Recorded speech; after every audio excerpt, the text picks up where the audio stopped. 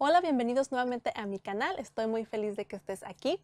Bueno, en este día quiero agradecerles a todos aquellos que me pusieron un comentario tan lindo en mi video pasado. Muchas gracias, de verdad me hicieron sentir muy bien y muy especial.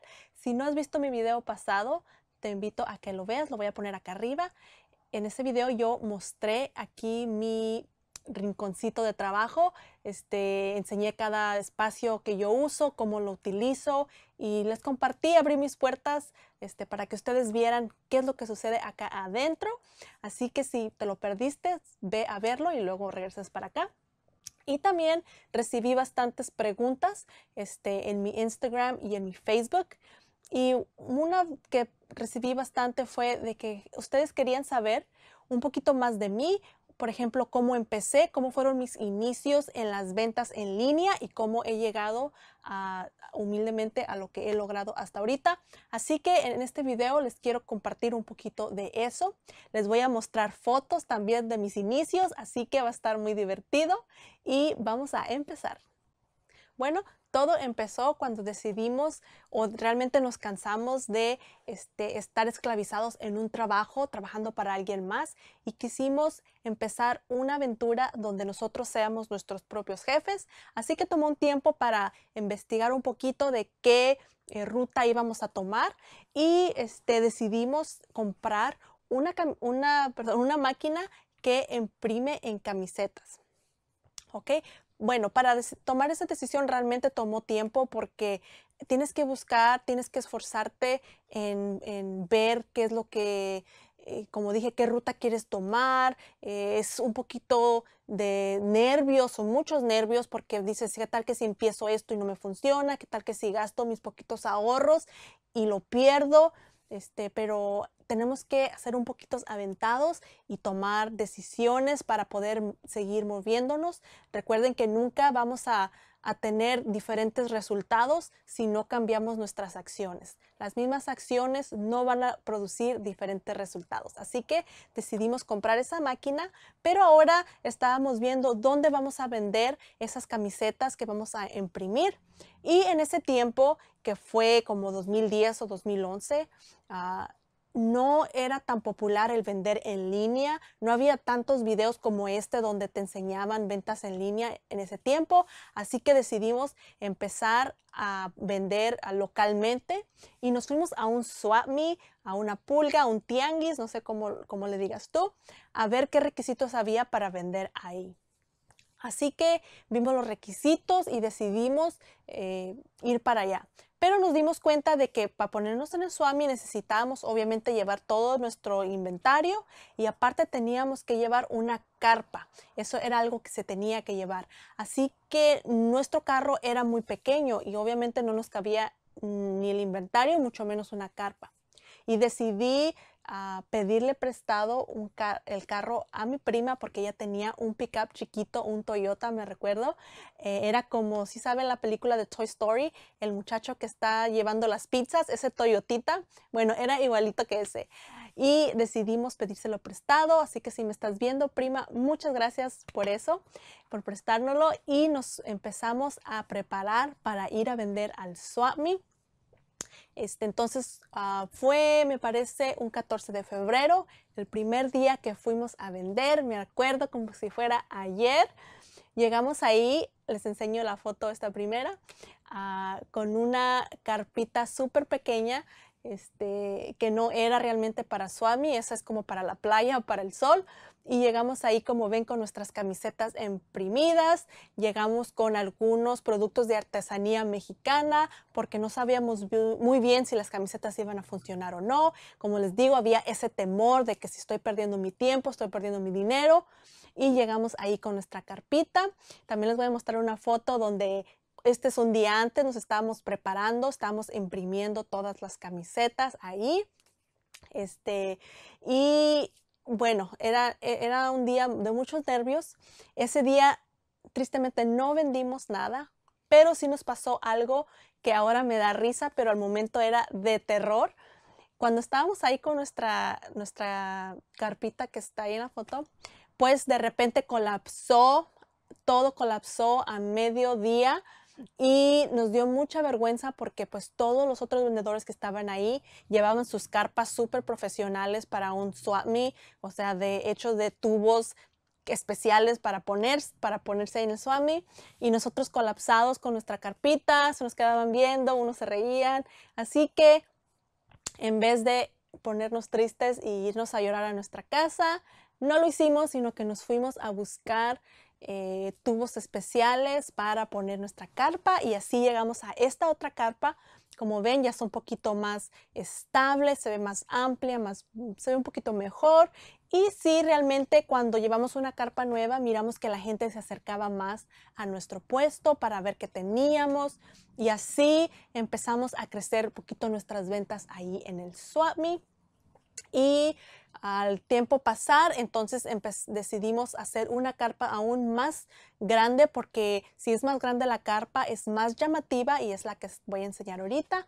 Es más grande, más llamativa. Como ustedes ven, ya metimos más producto, ya tenemos mochilas, tenemos gorras y todo era imprimido con nuestra impresora que habíamos obtenido y nuestras ventas empezaron a subir un poquito más. Pues ya, como ven, esta es más espaciosa, se ve todo más organizado, así que la gente le llamaba la atención entrar a ver qué es lo que ofrecíamos.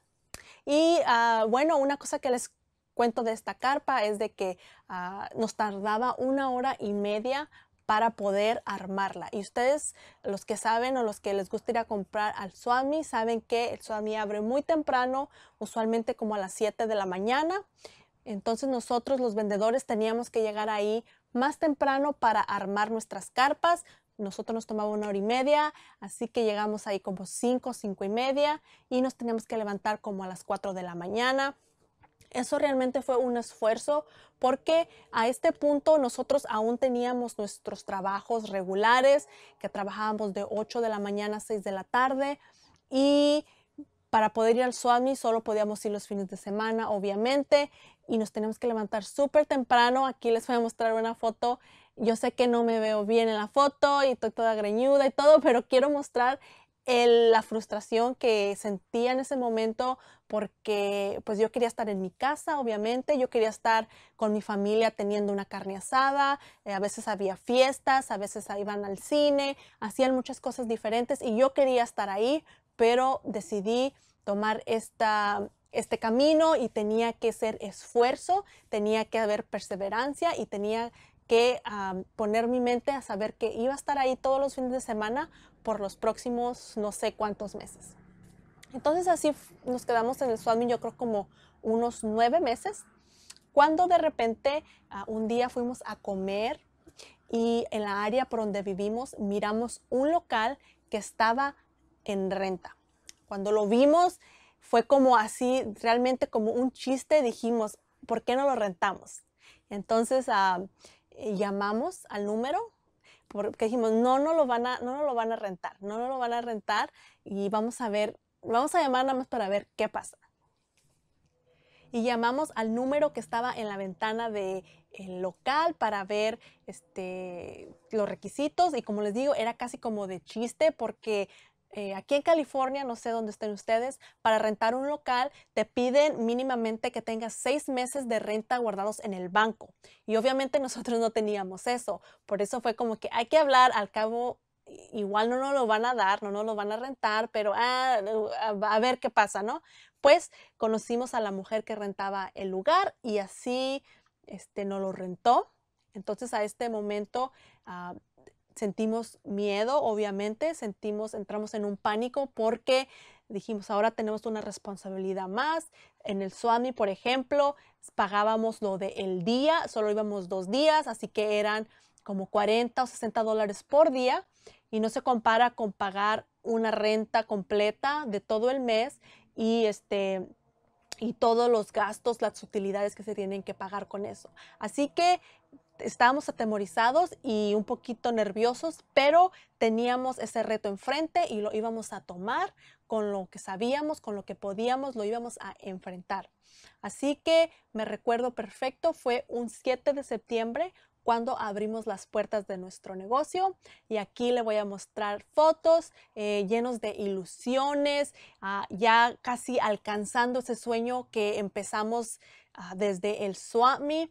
Eh, ya saben, levantándonos tan temprano, perdiéndonos muchos eventos familiares, fiestas, carnes asadas, eh, porque teníamos que estar en el Swami los fines de semana.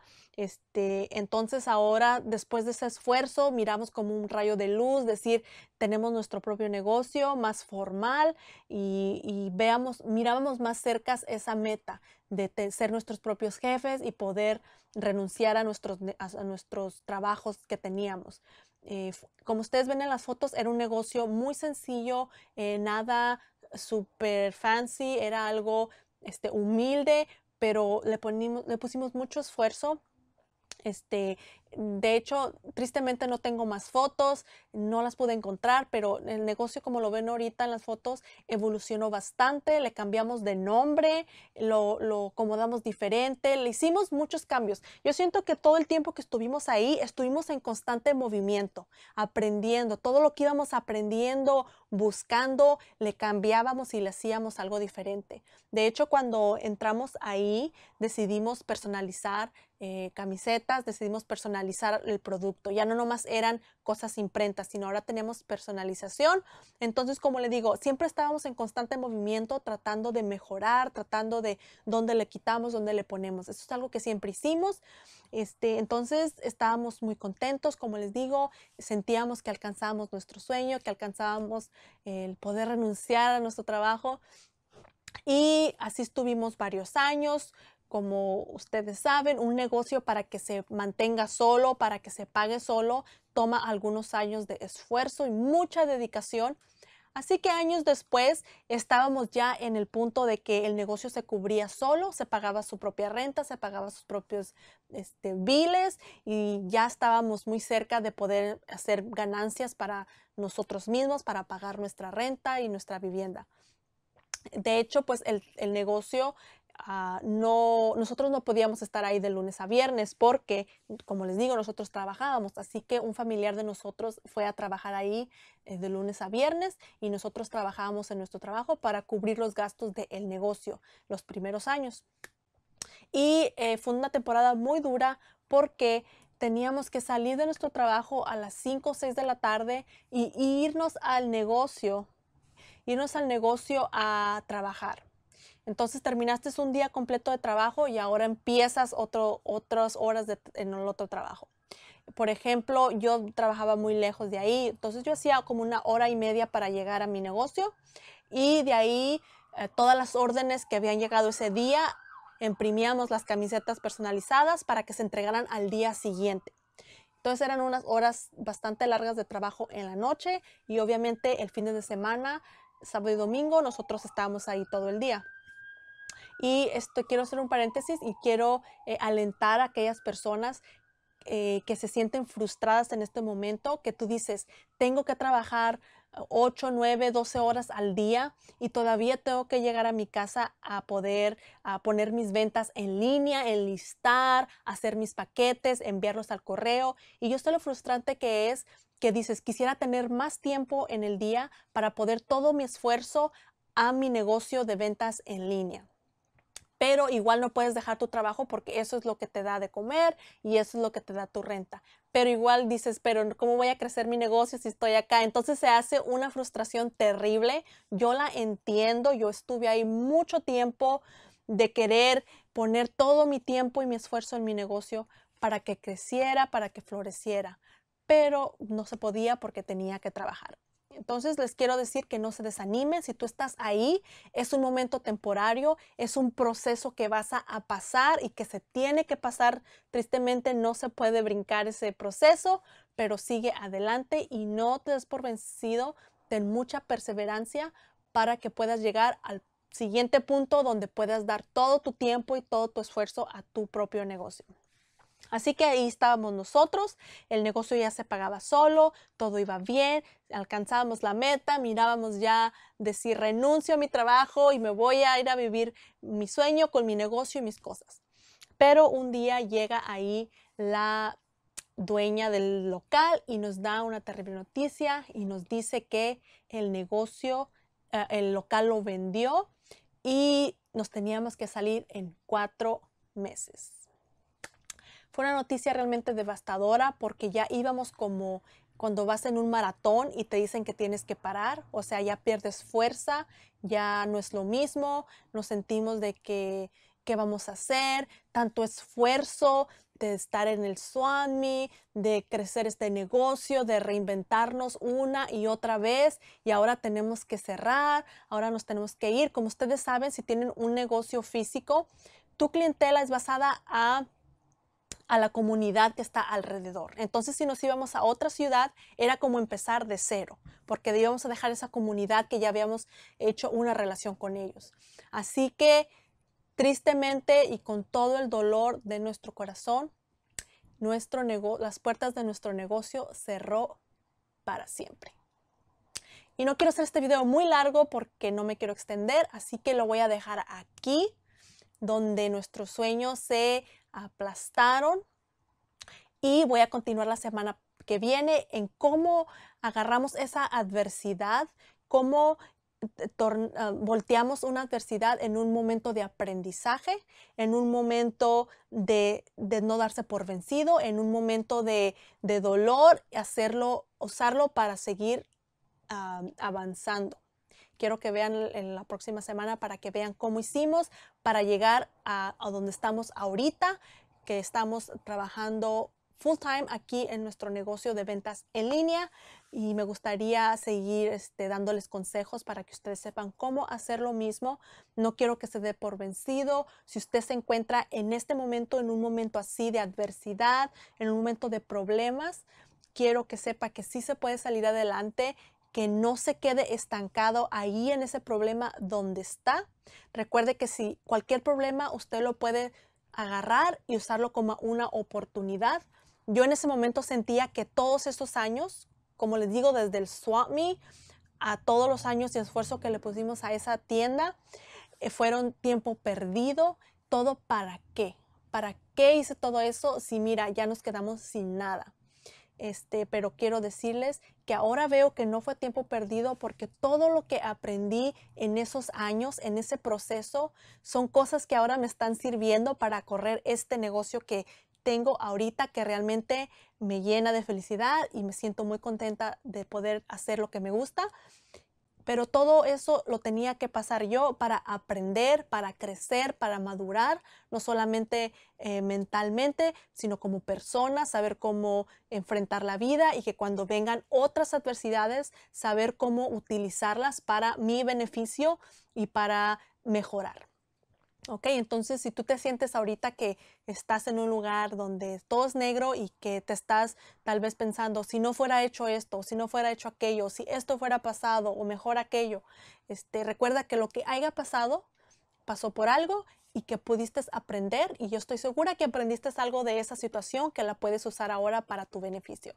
Así que si les gustó este video, comenten aquí abajo, denle la manita para arriba y todas las preguntas que me hacen, yo las leo y usualmente las contesto en un grupo de ayuda que tengo en Facebook. Así que los quiero invitar que vayan a la descripción de este video. Allí hay un enlace a mi grupo de ayuda. Lo que pasa en este grupo es de que yo casi diario pongo consejitos de las cosas que me han ayudado a mí a tener mi negocio, a crecerlo y también pongo los errores que he cometido para que ustedes no los cometan.